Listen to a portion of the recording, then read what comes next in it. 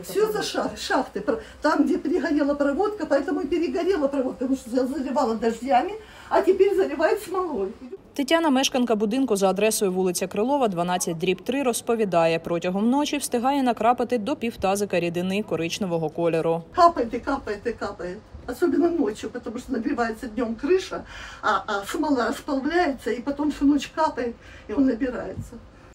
Схожа ситуація і в інших квартирах. Сначала була одна капелька, От. Спочатку була одна крапля такого іржавого кольору. Зараз стає більше. Крапає більше і більше. Краплі стають більшими. Підрядчик не може знайти причину. Підрядник не може знайти причину, чому воно тече постійно. Вату клали в калюжі, там озера були просто. Ремонт покрівлі тут завершили в грудні 2022 року. Коли погода стала теплішою, конденсат коричневого кольору почав проявлятись на стелях.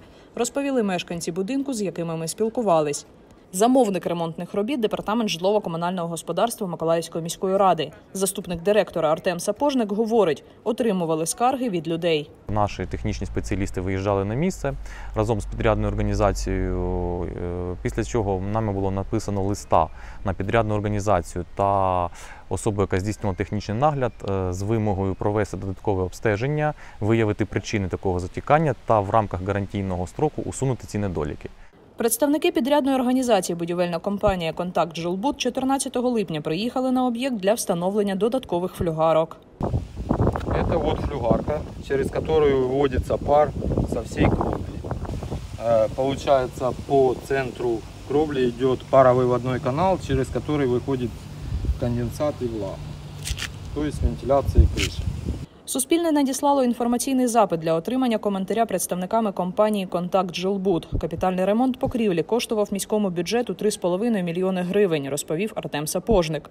Проєктування капітального ремонту покрівлі коштувало близько 50 тисяч гривень.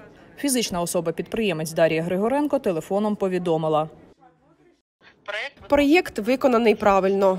Пройшов експертизу.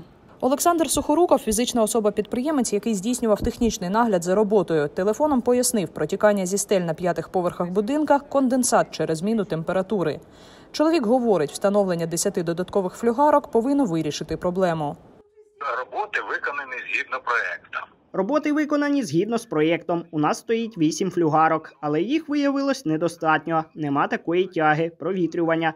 Точка роси повинна була спрацювати, але вона не спрацювала. Зараз ми додали ще 10 флюгарок за згодою із проєктантом. За словами Олександра Сухорукова, після встановлення додаткових флюгарок знадобиться місяць, аби конденсат припинив стікати в квартири. Тут або вина проєктанта, або вина підрядника.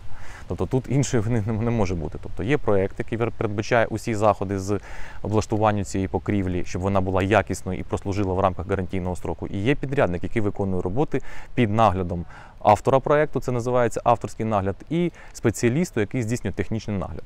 Тому в даному випадку ми в будь-якому разі е, наполягаємо, щоб підрядник усунув ці недоліки. Вважаємо, що це саме е, його, скажімо, зона відповідальності, і ми будемо на цьому наполягати. Валентина Гурова, Суспільне новини, Миколаїв.